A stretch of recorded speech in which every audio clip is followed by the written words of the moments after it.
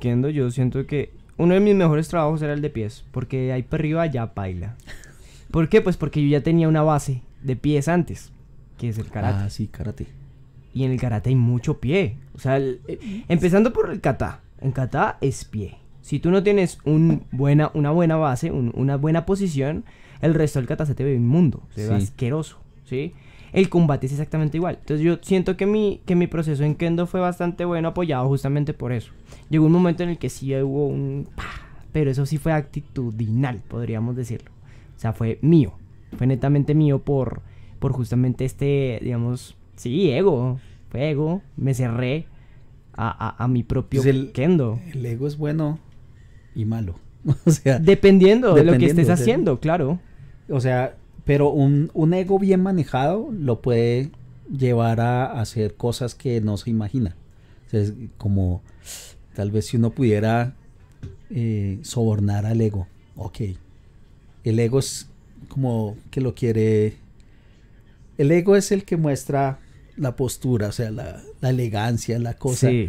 Si uno lo- dice, ok, si usted hace esto, eh, de pronto tenemos una hakama nueva o, o un nuevo. El ego le va a hacer todo lo posible por dentro para que funcione. Sí, funciona. Claro, te pasa tiempo y toda la cosa. Al principio no escucha, pero ya después comienza a escuchar, ok, necesitamos trabajar. Ok, quiere una, una chaqueta. Mira, a mí, a mí, por ejemplo, me pasaba mucho eso. A mí siento que en justamente por este mismo manejo que yo he tenido y, y como es que básicamente mi vida ha sido basada en artes marciales, realmente. Eh, Veintitantos en karate, ahorita en kendo pues no llevo, pues, no mucho, pero igual un- también un tiempo. Y siento que en realidad el uniforme, o sea, para mí verme bien en- con uniforme, o sea, yo soy de los que todo el tiempo se está mirando en el espejo. Me parece muy vanidoso, o sea, de mi parte, pero siento que eso también hace parte de meterse en el cuento. Claro. Siento que uno cuando se mete realmente en el cuento de un arte marcial es cuando tú sientes que en realidad estás haciendo el arte marcial tuyo. Sí, o sea, como que de verdad te empapas de ello y lo puedes expresar mejor.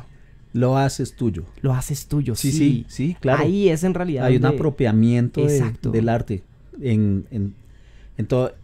Tanto así, o sea, mucha gente dice, yo hago una práctica marcial. ¿Listo? Bien.